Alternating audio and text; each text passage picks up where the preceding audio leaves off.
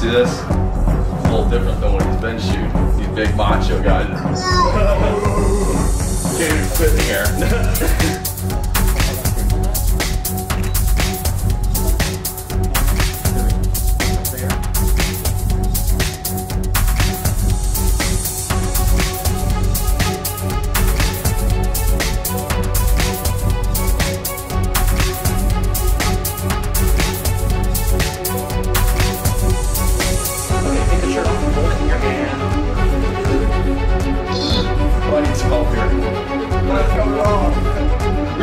legs like this.